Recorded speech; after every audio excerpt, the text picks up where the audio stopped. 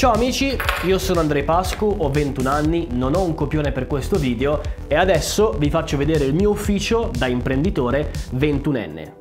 Andiamo. Il mio ufficio si trova a Bologna, in letteralmente pieno centro, e lo pago troppo, troppo. Voglio farti vedere più o meno, senza andare troppo nei dettagli, le cose che uso, come l'ho organizzato e perché l'ho organizzato in un certo modo, perché negli ultimi due anni, da quando ho un ufficio privato tutto mio, ho sperimentato con tutte le postazioni e tutte le modalità possibili per vedere cos'è che funziona meglio per me. Forse sei un giovane imprenditore, se sei un giovane imprenditore che sta iniziando adesso, un autonomo che un giorno vuole anche lui avere un ufficio, penso che questo questo video potrebbe darti un po' di spinta e motivazione per fare del tuo meglio per arrivare forse un giorno ad avere una postazione, un, un posto lavorativo come il mio. Il mio ufficio è uno dei tanti e letteralmente l'ho misurato ed è circa 3.3 metri per 3.3 metri. È un quadrato con due finestre. Come ti ho detto prima passo qui un sacco un sacco di tempo, quindi ho passato un sacco di tempo a provare a rifinire il più possibile la location in cui lavoro. Ci sono due postazioni, però la maggior parte del tempo sono qui da solo. Io sto da questa parte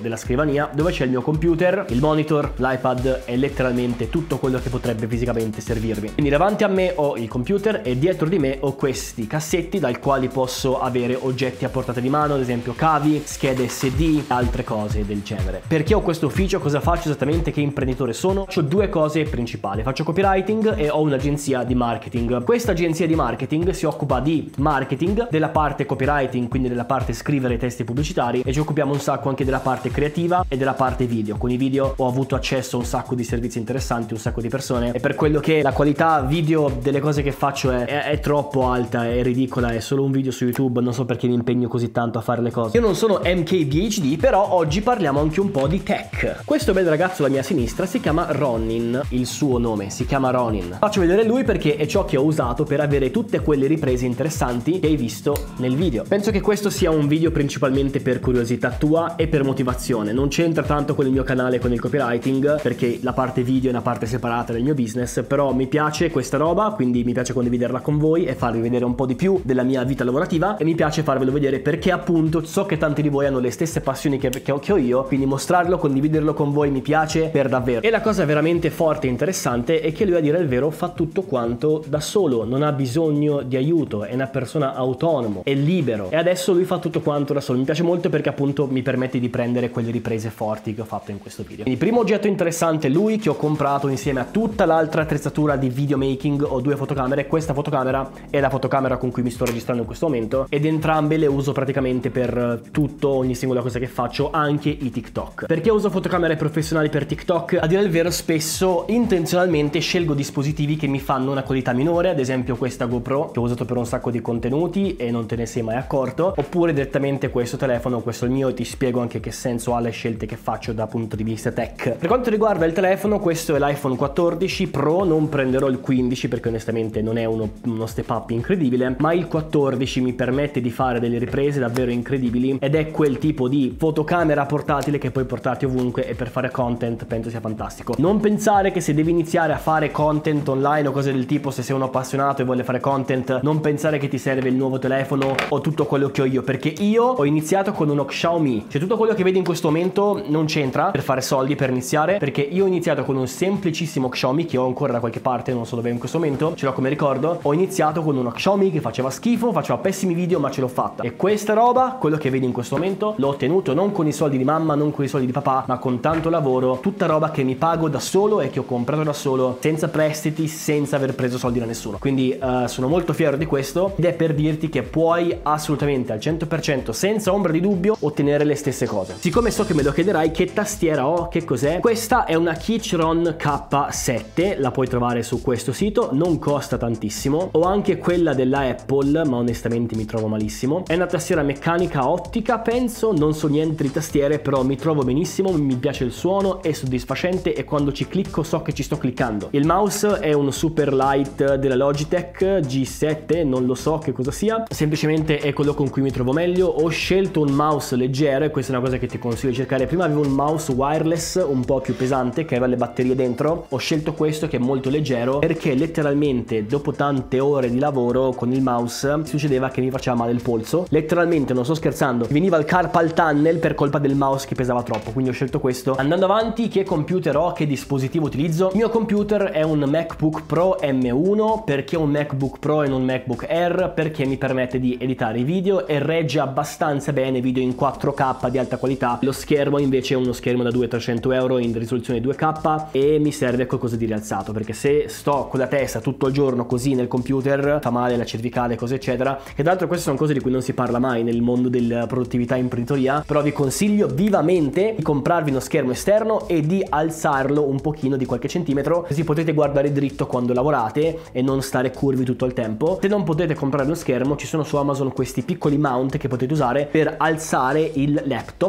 il portatile, quindi lo avete più in alto e state dritti. Non è una cazzata, ve ne pentirete tra uno o due anni di lavoro continuo, vi farà male tutto quanto, non sapete perché. Oh mio Dio, mi fa male la cervicale, perché? Perché hai curvo come un cane tutto il giorno a lavorare, ok? Quindi prendi gli attrezzi giusti per il lavoro. La salute conta. Per me è molto importante che riesca a fare le cose velocemente e che tutto quanto sia a portata di mano. Non voglio cercare cose, voglio che tutto quanto sia organizzato per il mio workflow e per come io lavoro e come io ragiono le cose. Quindi a sinistra della mia scrivania ho questo device che ho preso dalla Apple, è costato troppo, non ve lo chiedere neanche tipo 160-170 euro sto caricatore, che mi permette di caricare i miei device principali. Partendo dal mio Apple Watch che utilizzo e che onestamente non è il mio acquisto più intelligente, il mio um, iPhone e anche le mie AirPods Pro quando mi servono. Per quanto riguarda la parte audio, io utilizzo quasi sempre dispositivi Apple, tranne che quando devo monitorare audio, in quel caso utilizzo delle cuffie dell'audio tecnica, vabbè. Uh, però per eh, editing tutto quanto uso sempre wireless, non mi piace avere il cavo di mezzo, tutti i miei dispositivi per quanto possibile sono wireless, quindi ho o le AirPods Pro o le AirPods Pro Max, come si chiamano. Un altro strumento che utilizzo sempre e che è sempre a portata in mano, quindi come vedi ce l'ho proprio dietro di me, e lì è dell'iPad. L'iPad perché ce l'ho, perché l'ho comprato, a dire il vero per vari motivi. Una cosa per cui lo utilizzo un sacco è nei miei corsi o dei videocorsi di marketing. Nei videocorsi aiuto i miei studenti a capire meglio i concetti, magari disegnando su una lavagna digitale. Ho anche una lavagna fisica sulla quale a volte faccio brainstorming e poi lo utilizzo anche per uh, quando ho un copione per un video, lo metto su questo aggeggio e posso guardare il copione mentre registro il video, ce l'ho sempre a portata di mano, sempre di fronte, anche questo super super comodo. Di nuovo tutto quanto è studiato per il mio specifico modo di fare e il mio specifico modo di lavorare. Passo tante tante ore qui dentro e soprattutto nei giorni, nelle settimane in cui devo lavorare tanto, sono qui per 8, 10, 12 ore di fila, quindi mi servono strumenti che lavorano con me e per me, non contro di me. Uno strumento che potrebbe sembrarti esagerato, ma che ho comunque preso,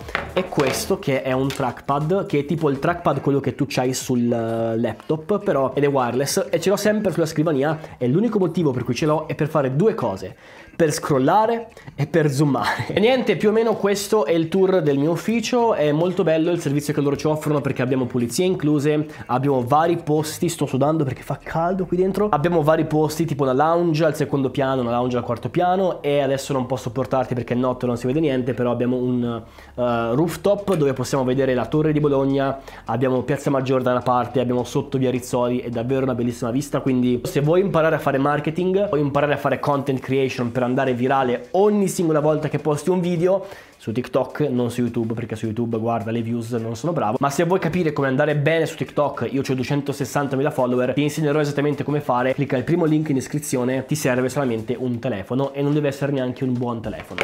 Ci becchiamo presto, ciao!